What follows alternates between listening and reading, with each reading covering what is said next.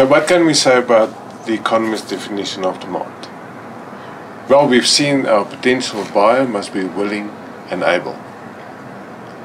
Once we establish that, once we had a look at these critical elements of the definition, we were able to distinguish between wants and needs and demand.